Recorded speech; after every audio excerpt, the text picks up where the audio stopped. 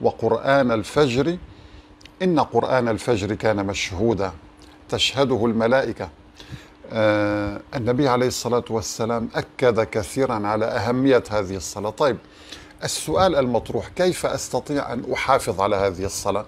الحقيقة كثير منا يفشل في الحفاظ على هذه الصلاة بسبب مشاغل العصر وهموم العصر.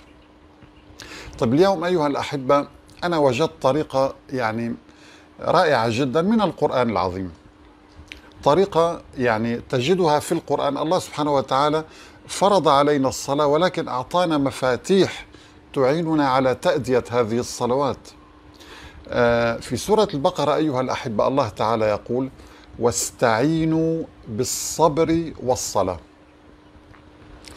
استعينوا على هموم الحياة على مشاكل الحياة على أذى الآخرين. المشاكل التي لا تستطيع حلها في حياتك الأمراض التي لا تستطيع أن تتخلص منها ضيق العيش الذي يحاصرك كل هذه المشاكل استعن بالصبر والصلاة. طيب كيف ألتزم بهذه الصلاة؟ انظروا أيها الأحبة ماذا قال القرآن. قال واستعينوا بالصبر والصلاة وإنها لكبيرة إلا على الخاشعين. إذا هنا مفتاح مفتاح الالتزام بالصلاة. ولتكتسب المزيد من الصبر أيضا عليك بالخشوع. طيب من هؤلاء الخاشعون؟ وإنها لكبيرة إلا على الخاشعين. الآية التالية تفسر لنا أيها الأحبة. فيها شرطين. الذين يظنون أنهم ملاقوا ربهم وأنهم إليه راجعون. إذا هنا أخي الحبيب القرآن أعطانا إشارة لطيفة جدا أنك إذا كنت من الخاشعين ستكون الصلاة سهلة جدا عليك. طيب كيف أكون من الخاشعين؟ يجب أن أفكر دائما بلقاء الله. وهذا هو المنطق العلمي أيها الأحبة. يعني أنا إذا كان لدي لقاء عظيم جدا سيحدد مصيري للأبد. هل أغفل عنه وأجلس وألهو أم أن المنطق العلمي يفرض علي أنه آه، أن أستعد وأجهز نفسي لهذا اللقاء وأفكر بهذا اللقاء. يعني انظروا كمثال رجال الأعمال أو الأغنياء أو أصحاب المليارات.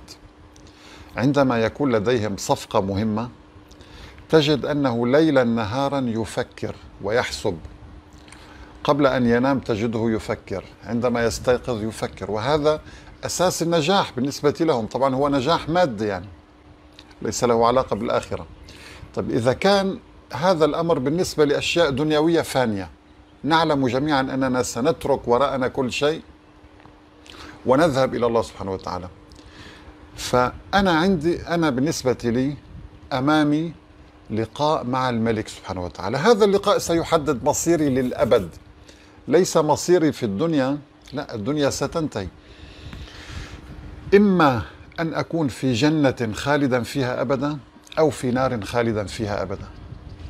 إذا هذا اللقاء ضروري جدا أن نفكر فيه كل يوم. لأن الدنيا قصيرة أخي الحبيب. إذا عشت مئة سنة هذه المئة سنة ستكون عبارة عن ساعة من ساعات يوم القيامة. ساعة واحدة فقط.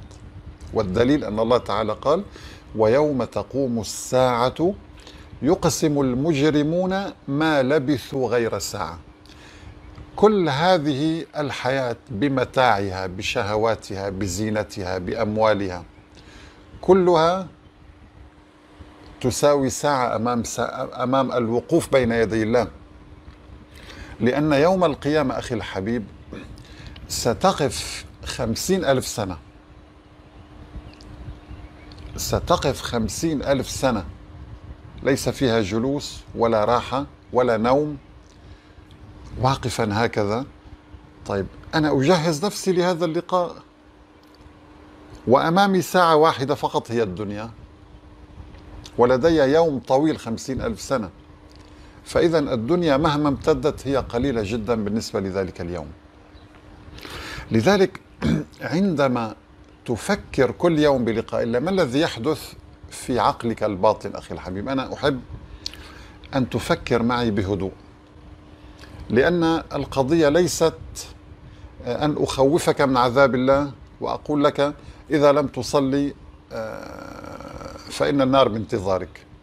إذا لم تفعل كذا لا نريد أن آه، يعني أريدك أن تصلي عن قناعة لأن الله لا يقبل عبادة إنسان يعبده فقط لأنه آه، يعني يخاف من النار. لا يجب أن تعبده خوفا وطمعا. هكذا كان الأنبياء.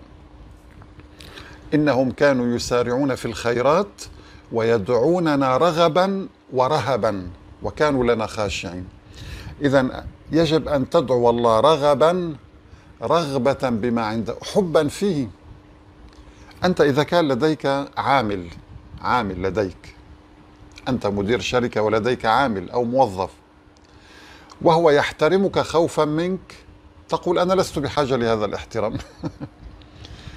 وهناك عامل آخر يحترمك يعني لديه شيء من الخوف ولكن حبا بك يحبك.